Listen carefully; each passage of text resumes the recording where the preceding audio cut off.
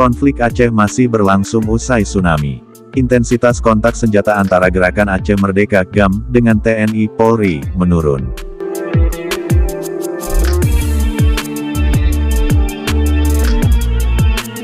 Masing-masing disibukkan urusan kemanusiaan, mencari keluarga dan anggotanya yang hilang, membantu mengangkat mayat-mayat. Berikut salah satu kisah kombatan GAM yang bermarkas di Aceh Besar.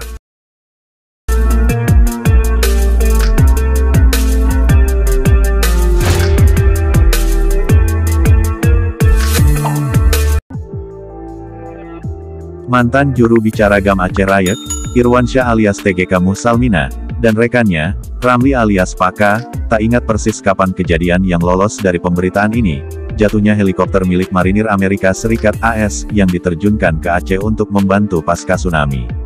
Mungkin sekitar 10 hari setelah tsunami, kata Paka mengingatkan. Saat itu, GAM punya markas di sekitar perbukitan Ladong.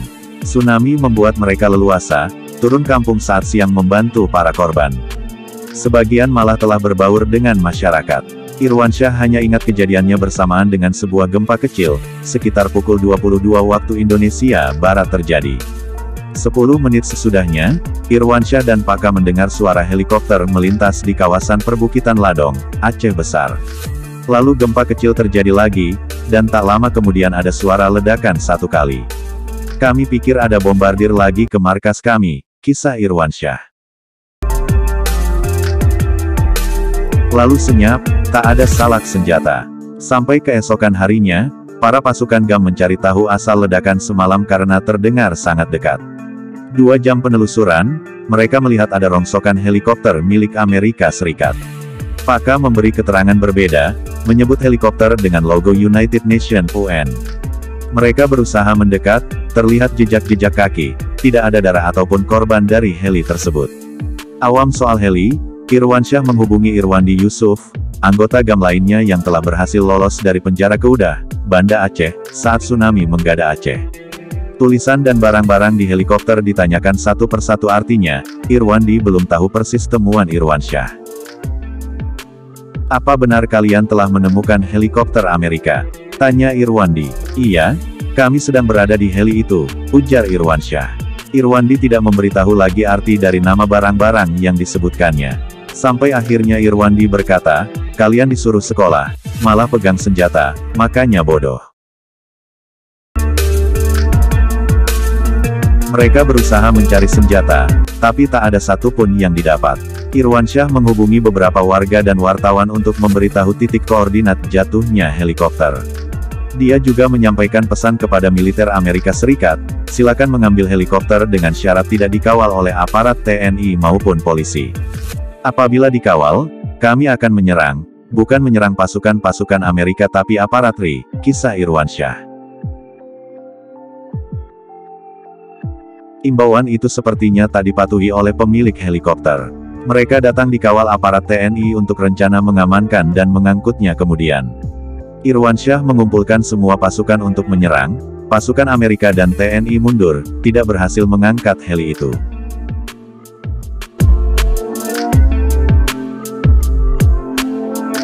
Esok harinya, militer AS menyampaikan berita kepada ketua barak pengungsi tsunami di sekitar Ladong, Aceh Besar, meminta bantuan mengangkat heli. Irwansyah dihubungi warga, dia mengizinkan asal tanpa pengawalan TNI. Beberapa warga diboyong untuk mengikat heli dengan tali khusus, selanjutnya diangkat dengan heli lainnya tanpa kendala. Pasukan GAM mengawasi dari jauh. Kondisi aman, sampai sepekan kemudian. Para kombatan GAM mendapat pesan dari pasukan Jerman dan Australia. Saat itu, tsunami hampir dua pekan, konflik Aceh masih berlangsung. Hanya saja, intensitas kontak senjata antara Gerakan Aceh Merdeka, GAM, dengan TNI, Polri, menurun. Masing-masing disibukkan urusan kemanusiaan, mencari keluarga dan anggotanya yang hilang, membantu mengangkat mayat-mayat. Konflik inilah yang membuat sejumlah pasukan militer yang terlibat misi kemanusiaan di Aceh khawatir. Saat helikopter Amerika Serikat jatuh dan akan diambil kembali di kawasan yang dikuasai GAM, mereka menyadari ada persoalan keamanan yang belum selesai di Aceh. Tanpa sepengetahuan aparat Indonesia, militer asing diam-diam membangun hubungan dengan GAM.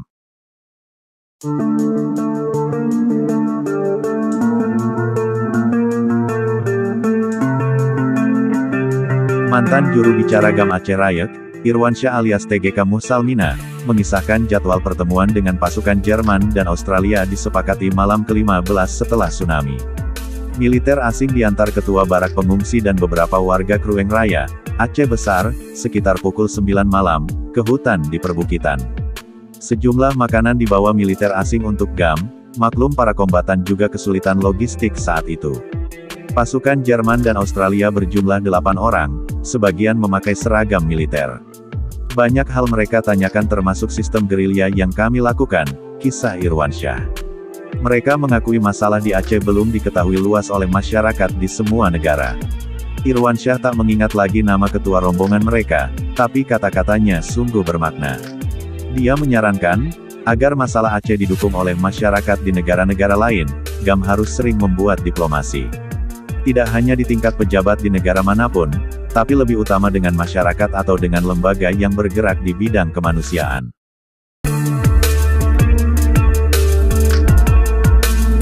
Banyak masukan yang disampaikan dalam pertemuan selama dua jam lebih. Setelah foto bersama, ketua rombongan meminta selembar bendera bintang bulan atau bendera GAM. Bendera itu katanya, akan dipajang di asrama mereka satu bulan kemudian ketika kembali. Kamu boleh telepon pimpinan kalian satu bulan dari sekarang, lihat bendera itu berkibar di asrama kami, kata si ketua rombongan.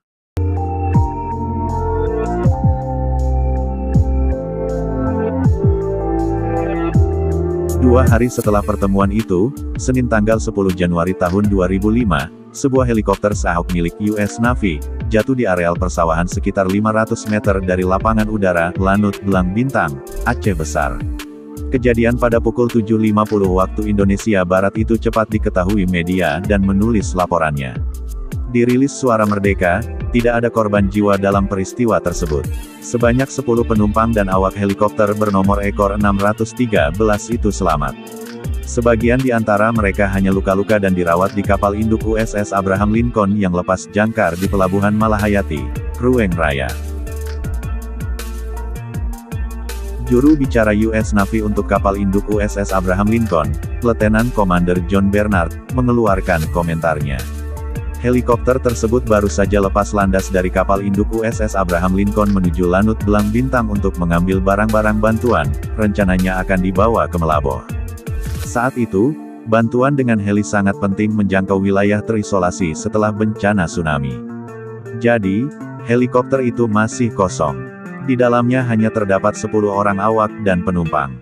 Namun sesaat sebelum mendarat, helikopter tersebut tiba-tiba jatuh, katanya.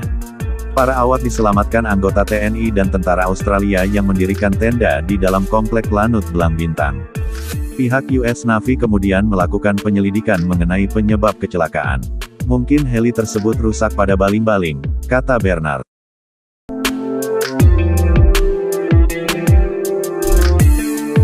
Senin siang jumpa pers digelar di bandara terkait kejadian tersebut. Menteri Koordinator Kesejahteraan Rakyat saat itu, Alwi Shihab, mengatakan belum bisa memastikan apakah insiden tersebut ada kaitannya dengan aksi Gerakan Aceh Merdeka, GAM, atau tidak.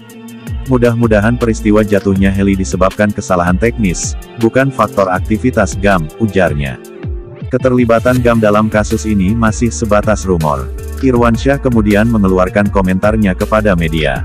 Kami tidak terlibat dalam jatuhnya heli tersebut, katanya. Dia berkomitmen tak akan menyerang siapa pun yang terlibat dalam urusan kemanusiaan di Aceh, pasca bencana dahsyat yang merenggut 200 ribu lebih warga. Lagi pula, kami juga butuh dukungan mereka dari luar negeri, tegas Irwansyah.